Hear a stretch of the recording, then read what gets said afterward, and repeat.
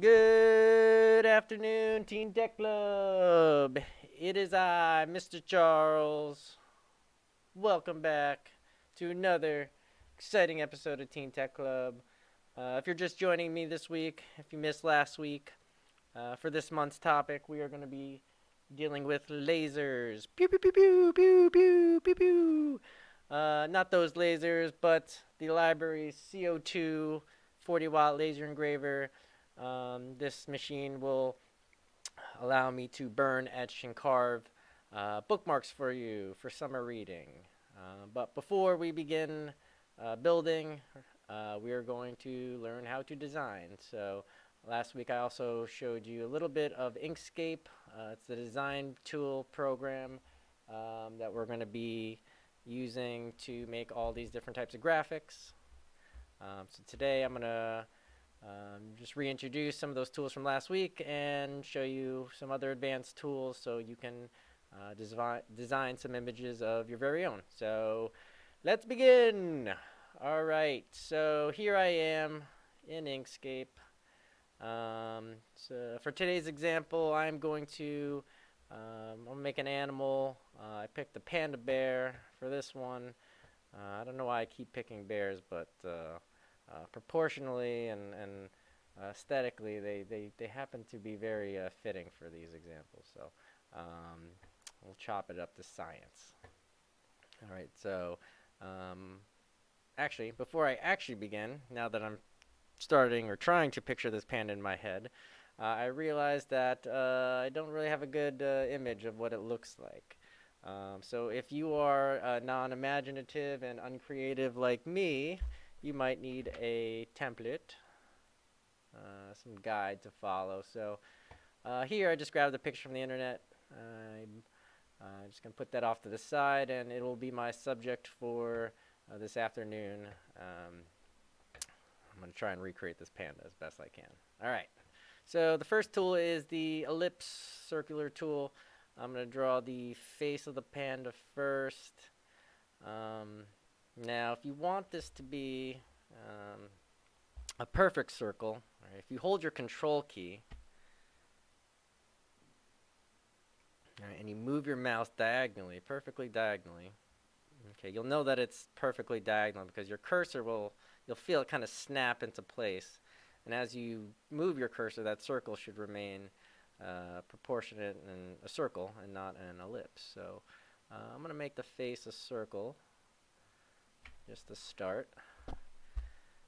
Alright, and then again up here on the top left, the pointer will be your selection tool. It allows you to move, and uh, I'm going to show you some other um, controls that it has for us, but we'll start with that. So the circle now, I'm going to do a little color uh, adjustment on it. So on the bottom left here, we have fill and stroke. Fill is the inside color, and stroke is the border of the circle, or any shape that you're dealing with. So um, if I double click on that, I will have the color menu open up. Uh, let's see. First thing is the stroke. I'm going to add a border to this. So right now it says width. Uh, it's close to nothing in millimeters. So the higher I make this,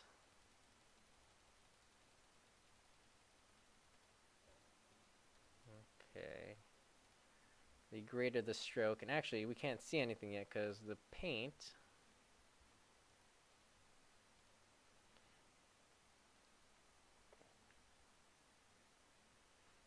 Okay, so on their stroke paint here, um, we're going to choose this one here.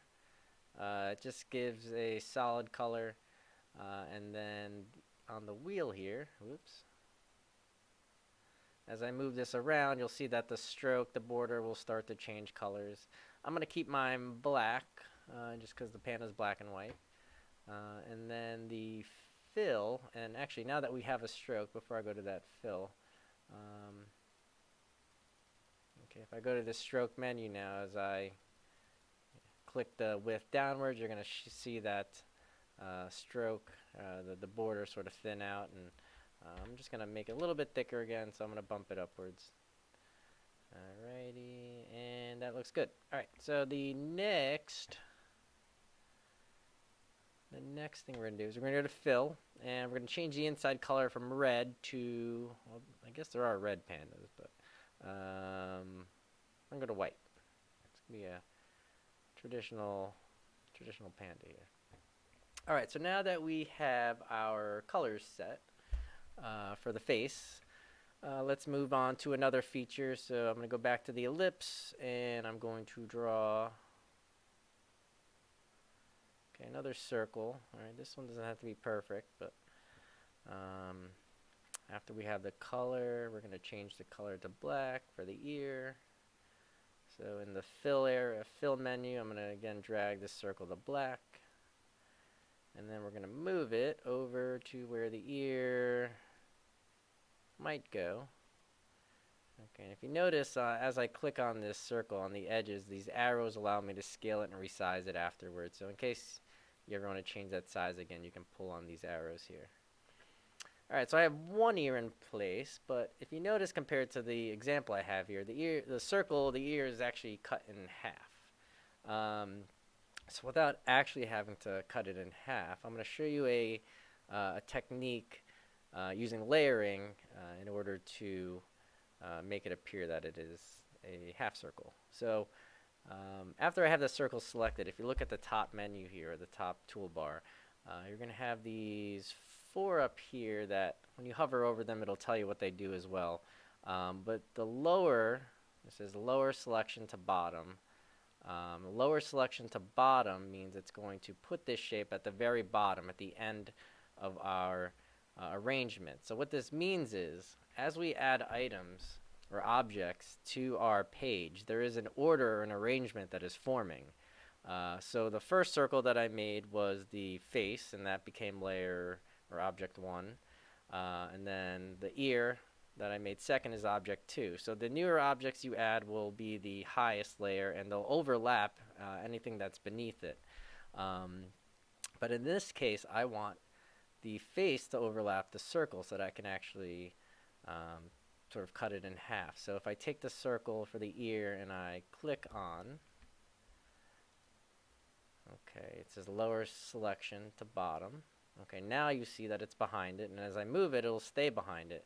So I can kind of use this effect to cut it in half, and it even has the same sort of arcing shape uh, that you see in the example here. So uh, use this technique if you need to uh, rearrange or reorder your objects. Now I want to make a second ear, and I want it to look about the same or exactly the same. So without having to draw a new circle or ellipse, I'm going to actually uh, copy and paste this one.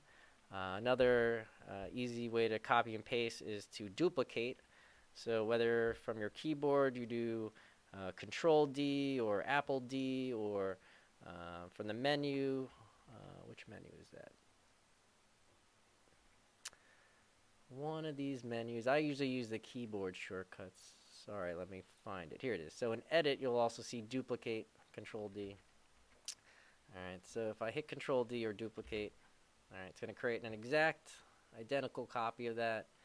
I'm just going to move it about where I want it to go. And then same thing like we did for that first year, we're going to lower the selection uh, and then putting it behind that uh, face. Alright. Alright, we got some ears. Next, let us make the, let's make the eyes or the those black spots under the eyes. Alright, so the first thing is I'm going to make an oval. Alright, and again, we're going to make this oval black. And then what you can do next is, alright, if you take your pointer, your selection tool, and anytime you click in the center of the object, you're going to notice that the arrows on the outsides of them will change directions. They'll go from uh, outwards pointing arrows to circular arrows. Um, so the difference is scaling and rotating. So when they're pointing outwards, this allows me to change the size. Uh, but if I click in the center of the shape and now they're rotating arrows, that allows me to rotate the object. So I will take right, this first eye, and that is way too big, so I'm going to click and scale it downwards. Man, I hope this doesn't look too terrifying. I used to like pandas, but this might give me nightmares soon. Alright, let's see. Eh, not bad, not terrible. Uh, we'll stick with that for now. And there's a second one. So instead of having to fool around with another uh, oval, drawing it exactly like this, I am going to duplicate this once more. So Control D. Here is my second eye shadow. And um, as you can see, they're not facing the same direction. So we're going to do another technique to sort of flip it. Uh, so if we select this second object, the second eye, and we go to, where is it? Here it is. So under object, in the object menu at the top, you'll see uh, the ability to rotate and flip. Um, so this one, actually rotating would, would work in this example. We can also flip it horizontally. And as you see, it will be almost like a perfect mirror of that first eye there. All right. Now, let's do the beady little eyes. So I'm going to draw a little circle. Whoop. Actually, you know what? I'm going to draw it right on the eye here.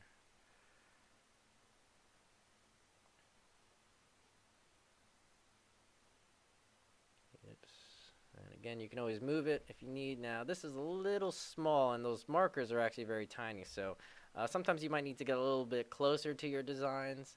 Um, I like to use keyboard shortcuts, so if I do Control plus, oops, actually Control and then the wheel of my mouse, or if you use your um, your touchpad and you scroll forward, it'll zoom in. Okay, you can also go View, Zoom, Zoom in. Uh, that'll also allow you to get a little bit closer. Alright, so now that I'm a little bit closer, um, I'm going to change this scary red eye to a nice, peaceful, clear white eye here. Actually, I'm going to zoom out a little bit again. Alright, and here. So here's I1. I can duplicate that again. Here's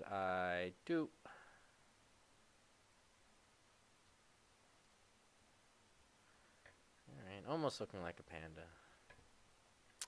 Now, the nose and the mouth. So the nose in this example is a uh, oval. I'm going to do a different shape for mine, actually. So I'm going to go to the uh, stars and polygons uh, tool here. Um, now, when you click on that sh tool shape, you're going to notice at the top uh, there's different um, uh, options that we can modify these shapes with. So corners, how many stars is this uh, star going to have? How many corners? Um, so in terms of points, I'm actually going to make that 3. And then the spoke ratio and rounded, I'll show you what those do in a second. But first I'm just going to start by drawing a star. Oopsies. Alright, well, we'll get the exact shape and size in a second, but um, three corners. So as you see, this star has one, two, three points. They're a bit rounded, and that's what uh, these two numbers at the top will allow you to adjust. So, okay, because I don't want this to be pointed, and I'll show you why in a second. I want to be a little bit rounded, but um, okay, and then rounded. Alright, so I'm just going to start with this basic shape, and we can always use these uh, numbers to modify it later. Um, I'm going to change the color to black on the inside. Uh oh What did I do? Fill. And then we'll go to move the circle to black here. Okay, so this nose, I'm actually going to, I'm going to scale it a little bit. I'm going to flatten it. It's almost like a triangular nose. I don't know. I don't know why I think of bear noses like this. something like that. That'll pass as a bear nose. Alright, so I'm going to put it right here. And what else does this have? Uh, a mouth. Alright, so for the mouth, um, we can use an arc. We can use some curve tools for that. Um, I'm actually going to use the text tool again since they kind of look like J's.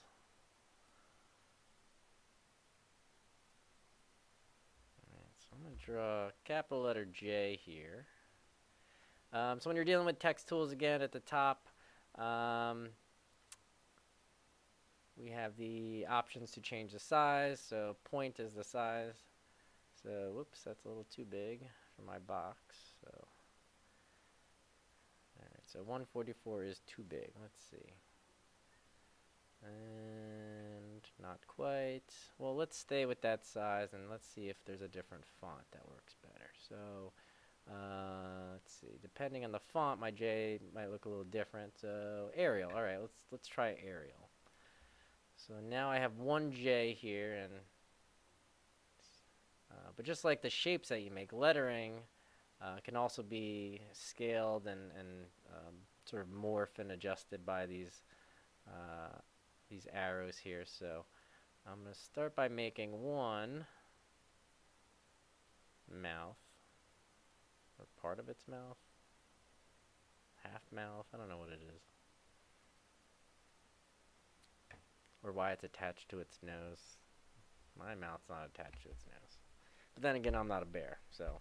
Alright, so let's see. I digress. Here is mouth one. Alright, and if moving it around with your mouse or cursor is a, or with your mouse, yeah, or, or trackpad's a little tricky, you can also use the uh, arrows on your keyboard to nudge it around a little bit as well. Um, so that's what I'm doing now, just to get it in the right spot. That looks good. Uh, after I have one shape, uh, or that I like in position, I'm going to duplicate it just like I did for the other parts. So Control D. Um, again, if you duplicate it, it'll place a copy right on top of that other one. Uh, after duplicating it, I'm going to uh, we're going to flip it. Uh, we're going to sort of mirror it like we did with the eye before. Uh, so I'm going to flip this shape horizontally. And then with my arrows again on my keyboard, I'm just going to nudge it to the right. Nudge, nudge, nudge, nudge, nudge.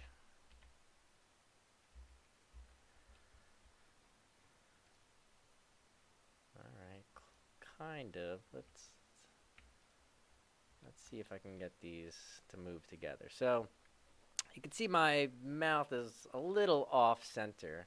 Um, so let's say I want to move both of these shapes together um, so that I don't have to do you know each one at one time. So uh, if I take this one half of the mouth and then I shift click on the other half, it's going to uh, select both of those objects at the same time. And uh, again with my arrows on my keyboard. I'm just going to move these into place, and that looks a bit more centered. I kind of like mine better, actually. Go away, sample panda. Uh, delete. Okay, uh, let's see, let's see, what else? Uh, final touches for this panda will be, um, actually, he's pretty perfect. So, last thing I'm going to do, actually, is uh, I'm going to highlight it, because with this Panda, we didn't do much uh, in terms of true sizing. Um, let's say this was to eventually translate onto a bookmark. It might be too big, it might be too small. Um, but again, since we're dealing in vectors, we can size this without uh, losing any shape. Um, but one thing we want to do before uh, we move anything around or size anything is we want to group these objects because everything is, uh, is sort of independent right now. So if I accidentally click on a shape or a part, uh, it might accidentally move. So I'm going to undo and uh, show you how to group your final pieces together. Alright, so if I draw a box, if I highlight everything, you can also do uh, Control A, select all. Um, but after everything is highlighted and selected, uh, you can right click and you can go to group, which is in the menu at the bottom, or you can also uh, go to the drop down menu and under object will be the, uh, uh, the option to also group. So uh, after hitting group and now that I try and move the object around you'll see that it is one fully formed panda head um, moving around and if I try and scale it ooh, I can pancake it I can get make it a long-headed panda a wide-headed panda. All right, very versatile. But again, everything stays in place. Everything um, uh, scales without losing any resolution or distortion because they're uh, vectors. So here's my panda. So um, I hope you can use some of these tools that I just showed you in your very own creations.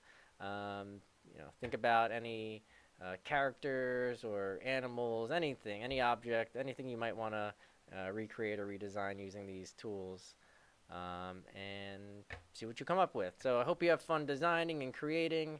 Uh, next week I will introduce new tools and techniques for making uh, these illustrations and then eventually we will pew, pew, pew, pew, pew, laser etch these into our bookmarks. Uh, have fun everyone, enjoy, and until next week, this is Mr. Charles out.